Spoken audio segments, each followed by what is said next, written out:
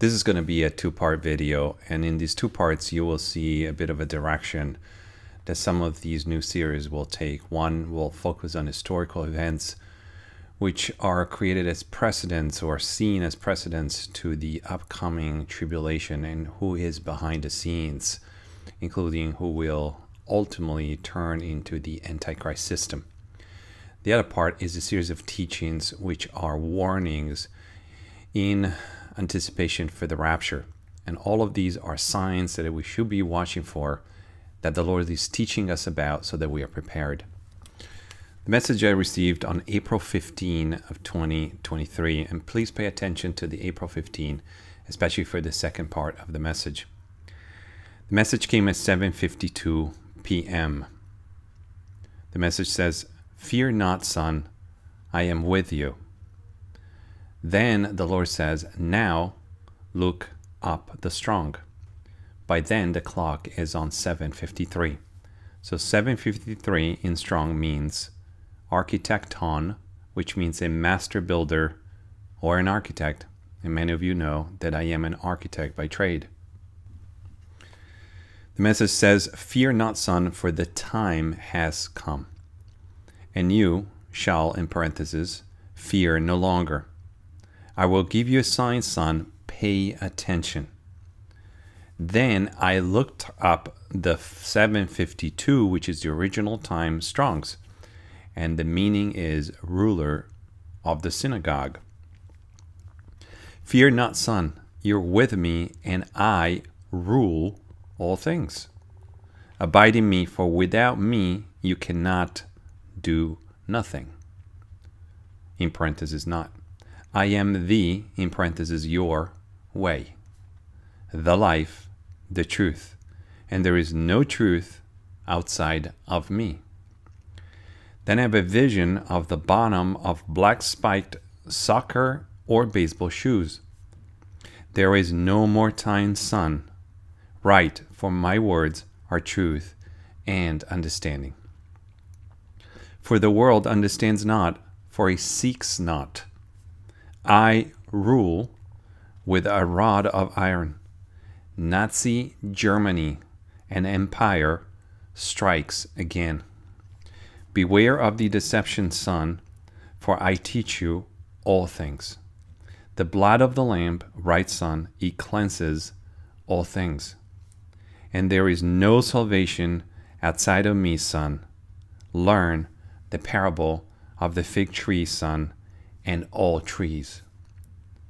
For time is at hand and calling all to repentance.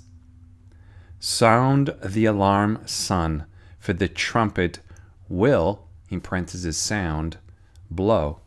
For I am long suffering and wish that none should perish. The time is now, there is no more time. The books are closing, right, son, that I come quickly. I am at the door. Fear not, rest not, time is short. I love you, son. Retire now, Lord Jesus, Yeshua, Abba, Holy Spirit. Amen. In the message, the Lord mentions to go and look the strong for 752 and that is the ruler of the synagogue. And then later on in the message, the the Lord says, "I rule all things," and then down says, "I rule with a rod of iron." So it was clear that the ruler of the synagogue uh, was something to look into. And as he was teaching me, of course, um, the ruler of the synagogue we know to be Jairus, and so Jairus's daughter is one of the four miracles of resurrections resurrection that the Lord performs. And so one is Jairus' daughter, the second is the widow's son, Lazarus, and then himself, the Lord Jesus. So the Lord had me understand and look what was common about these four events. So, in all of these four accounts, one of the things that we notice is that the Lord always or often will say, Weep not. So that's the case of Jairus' daughters, for example, where the Lord says, Weep not. The same thing happens when the Lord has compassion in uh, for the widow's son, and he tells her, "Weep not." That's the Luke seven thirteen.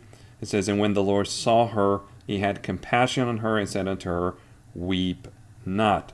Now, when we went to Lazarus' account, we notice that it is the Lord Himself in this case weeping. And so in John 11 13, the verse says, Jesus wept. Now, in the fourth account, which is the resurrection, it is Mary who's weeping. And so in John 20 11, it says, But Mary stood without at the sepulchre weeping.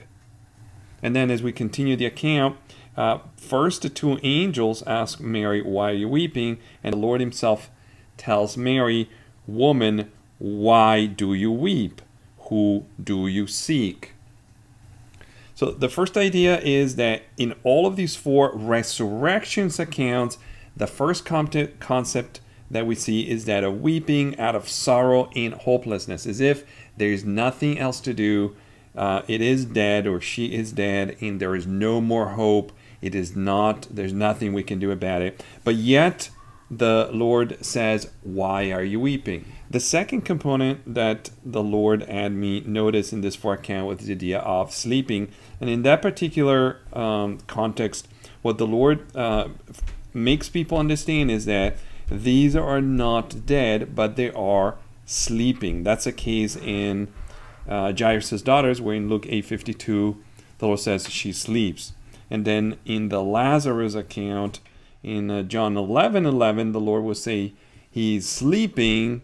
And then in John 11 14, he says, no, now he is dead. So is making us understand that there is a component of sleeping that goes along with this idea of the resurrection. So then he had further uh, made me study that this concept of sleeping happened again right before two other forms of resurrection.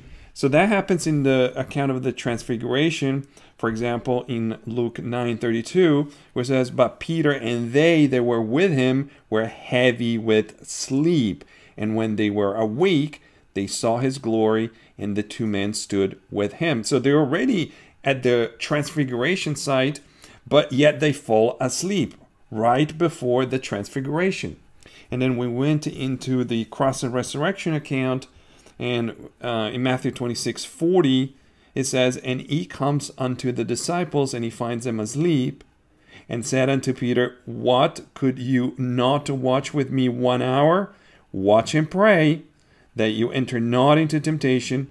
The spirit is willing, but the flesh is weak. So, in both these accounts, I want you to notice that they are sleeping right before, shortly before what?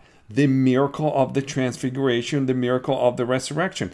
Right before the transformation, right before the resurrection, they're sleeping. And the same way that right before the miracle of the resurrection, the Lord says they are sleeping. So we want to notice that there's a relation between right before the resurrection, right before the miracle, they are sleeping. So what the Lord is teaching us is right before the transfiguration, the resurrection, or the rapture, the sleepy comes in and the weeping comes in. This is a warning that the Lord is saying there's a time of sleepiness, slumber, weariness, of letting go of that fire and watching and praying, like the Lord said to the disciples in Matthew 26 40, watch and pray and like he's teaching us in Luke 21 36, watch and pray always. But he's saying, otherwise, you'll be sleeping. Who else is sleeping? The 10 virgins in Matthew 25. They all fell asleep. When? Right before the midnight cry. The Lord is saying, right before the rapture, right before the resurrection, there will be a time of sleeping and a time of weeping. So the Lord is giving us a warning, and the teaching is to remind us that yes, there is a sleepiness that's starting to creep into the body of Christ. This sleepiness is mentioned and portrayed in every account of resurrection and as well as the transfiguration, which is a warning for us to say, do not fall asleep, but also notice that when the sleepiness comes in, when the hopelessness comes in, the, we are so close. The weariness as, and the weeping as well are part of the same picture. A time of sorrow and a time of sleepiness are just short of the rapture. So, this is an encouragement, brothers and sisters, to stay vigilant, to watch and pray, intercede, to share the gospel, to focus a lot less on the actual day and the actual hour and the minute of the rapture, but to know that we're in the season. This is why the Lord is sharing this wisdom. This is not my wisdom. This is a teaching from the Lord that I share with you. This is not my doing. I say it. This I'm not here for my merit. I'm simply being obedient to what the Lord is sharing. I want everybody to understand that this teaching is meant for us to, to understand that when we see the sleepiness coming in, when we think that is not happening, we finally think it's not happening, that means it's truly at the door. I hope this was encouraging. Watch out for part two, which will speak about a different topic still related to what we're about to enter into. And I hope this was a blessing and an encouragement. In Jesus' name, amen.